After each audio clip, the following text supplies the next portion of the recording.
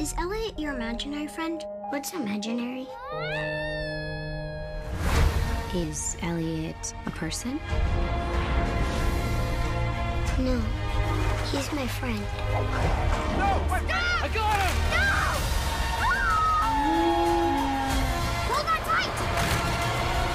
Follow that dragon! Elliot! Pete's Dragon in cinemas August 12.